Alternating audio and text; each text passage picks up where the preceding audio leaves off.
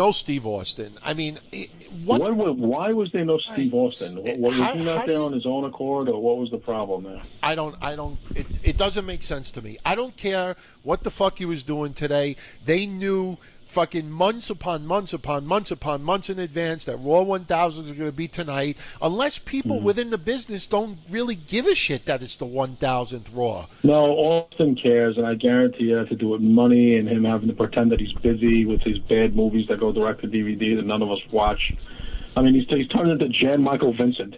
I mean, Isn't he doing it? no one watches anything he puts out. You Which know, Steve, Steve, Steve, get back to wrestling. You you know, let, let, let's give it to you straight, buddy. Nobody watches your movies. You're not The Rock, okay?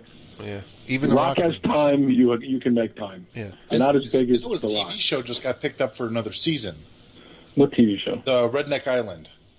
Yeah, I'm, I'm sure that's a huge hit. But, uh, I Hey, never heard of it. hey, isn't it, other than that, it isn't it funny that two weeks ago we were talking about how